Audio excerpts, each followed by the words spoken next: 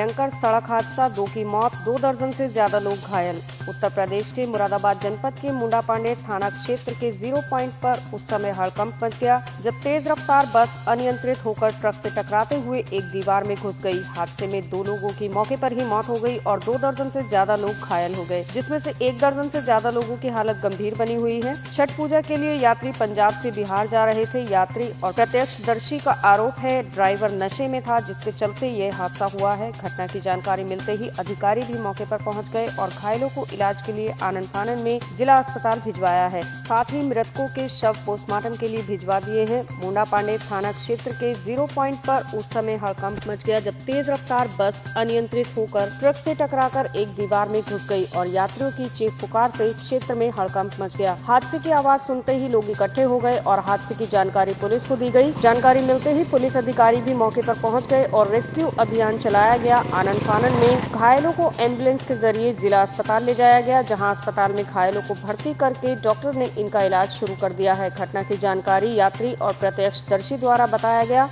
प्रकाश sir कहाँ से आ रहे थे आप? हमारे जीतोवाल से मंडी से। सर कहाँ जाना था आपको? हमको जाना था बिहार। अच्छा ड्राइवर ने जो ये गाड़ी यहाँ पर डाली है क्या वजह थी ऐसी? अब तो वजह हम तो लगा उधर तो हमारा आँख मुना गया। ड्राइवर शराब पिए हुए था। शराब पिया है नहीं देख रहे। हैं ड्राइवर कंडक्टर दोनों शराब पिए हुए शराब पिया कितने को चोट लगी है लगभग इसमें लग-। पंद्रह बीस आदमी का चोट लगा हुआ है। अच्छा अरे कितने सुनो, सवारी क्या कहाँ से- भैया, आ कहाँ से रहे इधर- तुम? इधर- जीतोवाल मंडी से। मंडी वो हिमाचल प्रदेश से। लुधियाना। है। अच्छा लुधियाना से। कहाँ रहे थे? बिहार बेतिया जिला। अच्छा किस चीज़ में ये गाड़ी घुसी थी कहाँ पर इधर देख के बताओ। सामने। हाँ कितने लोग? इसने हाँ। बहुत स्पीड में चल रहा था बहुत स्पीड में बस वाला है जो। कितने लोग घायल हुए होंगे इसमें? इसमें कम से कम दो दो एक्सपायरी है। अच्छा। और कम से कम पच्चीस तीस ये किधर से आई थी कि बस? दिल्ली साइड से। दिल्ली साइड से। तो यहाँ जो है आने का कैसे कि, किस तरीके से आई? ये तो अपोजिट साइड है। साइड से आ रही थी। हाँ। ये टैंक इस कंटेनर का पता नहीं है किधर से आ रहा था। इसमें मारा इसके पैर वहीं निकल गए थे। पहले टैंकर में इसमें टैंकर में मारा उसके बाद में ये गाड़ी यहाँ दीवार तोड़ के अंदर अच्छा दीवार तोड़ के हाँ जी हाँ जी।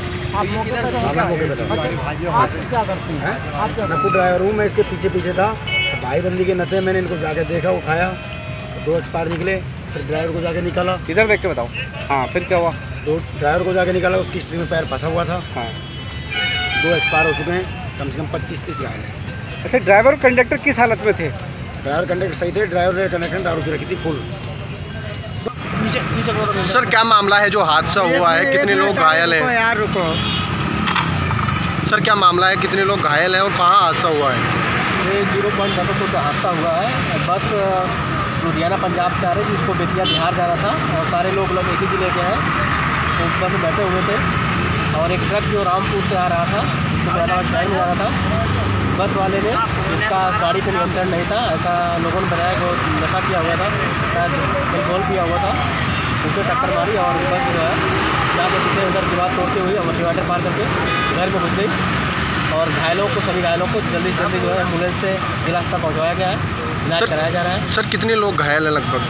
अभी तक जिस जिन लोग पहुँचाया गया वो पंद्रह से सोलह लोगों को गया है। अभी तक हमारा ध्यान था जल्दी से जल्द जो है प्राथमिक उपचार दिया जाए और सबको जिला अस्पताल में सर किसी मौत भी हुई है? सर जो जो मृत्यु मृत्यु हुई है कहाँ की शिनाख्त हो पाई है कहाँ के हैं? अभी कोई शिनाख्त नहीं हो पाई। सभी लोग जितने घायल थे सभी घायलों को हमने जिला अस्पताल भेज दिया है और जिला अस्पताल में पहुँच करके हम उनका बेहतर से बेहतर इलाज करेंगे और देखते हैं वहाँ पे क्या कौन कौन लोग हैं, उनका नाम पता नहीं सब लोग किया जाएगा। अभी प्राथमिकता है कि इनको जल्दी जल्दी उपचार किया जाए मुझे सबको भी यहाँ से तत्काल जो है जिला अस्पताल भेजा गया है। ठीक है सर बस तीन रफ्तार में थी अनियंत्रित होकर ट्रक से टकरा गई और दूसरी साइड में दीवार में जा घुसी जिसमें दो लोगों की मौके पर ही मौत हो गई और दो दर्जन से अधिक लोग गंभीर रूप से घायल हो गए जिनको इलाज के लिए अस्पताल भिजवा दिया गया है। साथ ही ड्राइवर नशा करे हुए था जो यह बस चला रहा था जिसकी लापरवाही के चलते यह हादसा हुआ है। घटनास्थल पर पहुँचे पुलिस अधिकारी के अनुसार घायलों को इलाज के लिए अस्पताल भिजवा दिया गया है और मृतकों के शव को पोस्टमार्टम के लिए भिजवा दिया है और लापरवाही बरतने वालों के खिलाफ कार्यवाही की बात अधिकारी द्वारा कही गई कही जा रही है। एक्सीडेंट हुआ कहाँ पर हुआ और कितने की मौत हुई? ये मूढ़ा पांडे क्षेत्र में दलपतपुर के पास हुआ है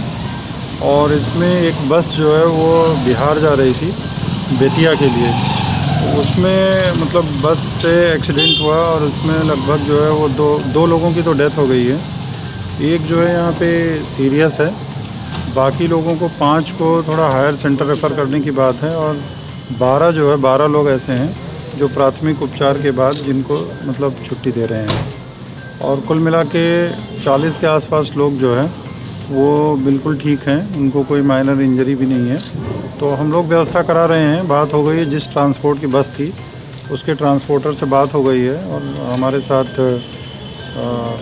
क्षेत्राधिकारी भी हैं वहाँ के तो बात हो गई है और काफ़ी कुछ जो है वो मैनेज करके उन लोगों को भेजने की कोशिश कर रहे हैं हम लोग जो ठीक है। में भी आया और ड्राइवर जो है दारू किया हुआ था? वो फाइनल जो है जो भी इस एक्सीडेंट की इन्वेस्टिगेशन होगी उसमें क्लियर पता चलेगा कि क्या था। इतना भैया इतना कितनी कैजुअलिटी हुई है? क्या किस किसमें टक्कर ये थाना मोडा पांडे क्षेत्र में हाईवे पर एक ट्रक और एक बस में एक्सीडेंट हुआ है। ये बस पंजाब से बेतिया ज़िला बिहार के लिए चली थी। इसमें अब तक दो लोगों के मृत होने की सूचना है। जिसे जिसमें कुछ लोगों को पीएचसी और अन्य लोगों को यहाँ जिला अस्पताल ट्रीटमेंट के लिए भेजा गया है जिसमें सत्रह लोग अभी यहाँ ट्रीटमेंट के अब सभी को प्राथमिक उपचार किया जा रहा है और इसमें बुरी कार्रवाई की जा रही है।